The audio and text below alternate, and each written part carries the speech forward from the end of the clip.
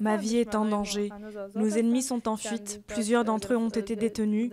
Il y a beaucoup de talibans. Ma vie est en danger et donc je dois vivre caché. À la fois le gouvernement et ceux qui m'ont fait ça sont responsables. J'accuse le gouvernement parce que quand de tels incidents arrivent aux femmes, le gouvernement n'y fait pas vraiment attention. Et j'accuse aussi la personne qui a aspergé mon visage d'acide parce qu'il a commis ce crime.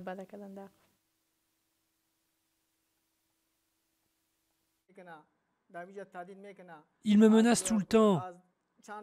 L'un des agresseurs est venu il y a quelques jours me demandant de les pardonner de leurs crimes pour qu'ils soient relâchés de prison, sinon on sera tué.